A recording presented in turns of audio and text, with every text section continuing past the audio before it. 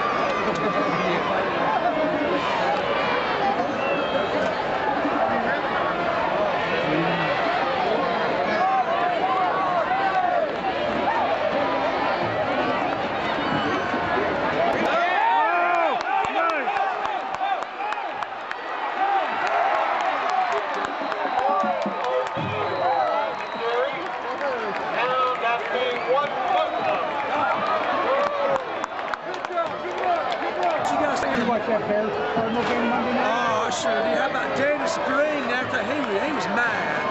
I don't blame him. He didn't have to use that.